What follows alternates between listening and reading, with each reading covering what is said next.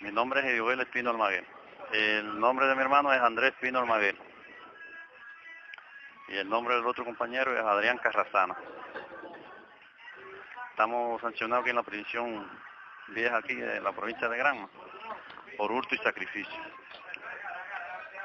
estamos sancionados injustamente por una por, por dos instructores, vaya, que sobornaron prácticamente a dos compañeros para que dijeran que nosotros fuimos los que cometimos el delito. Sabiendo a fondo nosotros y toda la vecindad allí que no hemos cometido el delito. Y así, el Tribunal Provincial de aquí de la provincia de Granma nos, sancionó a siete años a mí, a Ibiobel Espinal Maguera, a cinco a Andrés Espinal Maguera y a cinco a Adrián Carrazana Gómez. Donde, ¿Hace qué tiempo? Bueno, hace un año y va para seis meses. Y el día 14 de junio va a ser un año seis meses. ¿Cómo fueron involucrados ustedes en este en este delito?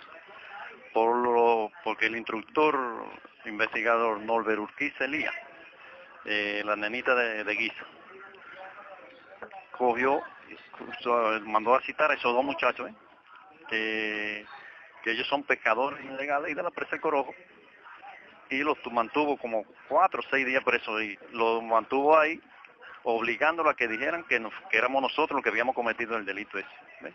El sacrificio, eh, ¿dónde apareció el ganado mayor mutilado? ¿Dónde apareció? ¿Se lo robaron ah. a un campesino? ¿Qué fue lo que pasó?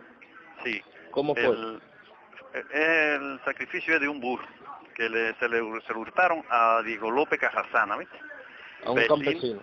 Sí, que él es vecino ahí de la presa en Corojo. Él y yo somos colindantes. Yo tengo la finca del lado de acá de la presa y él del lado de allá de la presa. Pero que el animal lo sacrifican en la misma finca de él frente a la casa mía. ¿ves? Sí. Que hay más y entonces, ¿Y entonces por qué crees que el instructor, ese que me dices, te insistió tanto o montó esta falsa, según tú cuentas, contra ti y contra los otros dos eh, ciudadanos?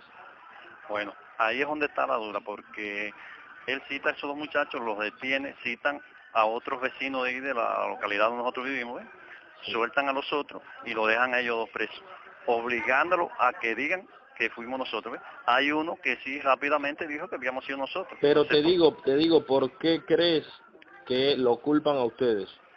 Eh, ¿Crees que hay algo personal? ¿Tú tuviste algún tipo de de contendiente, discusión con, eh, con este señor, con el, el instructor? ¿O crees que fue al azar porque y por qué no culparon a los verdaderos culpables? No no sabes nada de por qué pudo haber sido. Bueno, entre él y nosotros no ha sucedido nada. Ni entre el propietario del animal y nosotros tampoco ha sucedido nada. Yo pienso que sea para, ellos hicieron eso para cerrar el caso. Son las suposiciones que, ya. Porque eso es una injusticia lo que han hecho, ¿viste? Entonces, entonces... ¿A cuántos fueron sancionados? Bueno, sancionados habemos cuatro. El de mayor sanción fui yo y yo el Espino Almaguer, los otros tres a cinco años de privación de libertad.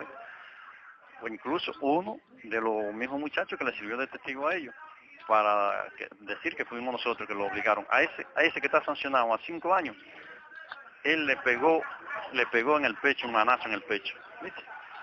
Y, y, citó a la familia de él. Él dice que sí, porque prácticamente la familia de él son quienes lo obligan, conjuntamente con el instructor investigador Norberuki Celía, que se prometió, se prometió con la familia que al muchacho no le iba a pasar nada. Me estás hablando de los pescadores, ¿verdad? Sí, sí. ellos fueron los que sirvieron de testigos, según me cuentas, eh, presionados por el instructor para tratar de cerrar el caso. Sí. Eh, Junieki Pérez del Toro es uno y Osmani Chávez Borrero es el otro. Que Osmani Chávez Borrero es a quien sancionan a cinco años también, ¿ves? Quedando mal, quedando mal el instructor con el con las familiares que se prometió de que el muchacho no le iba a pasar nada, ¿ves?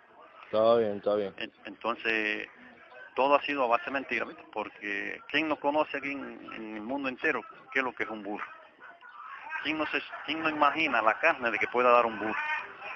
Y ahí en el alto juicio, el instructor investigador puso en los papeles con los dos testigos sobornados de que el animal había dado dos sacos monitores yuti de carne, de las mejores carnes, y un saco de nilón blanco.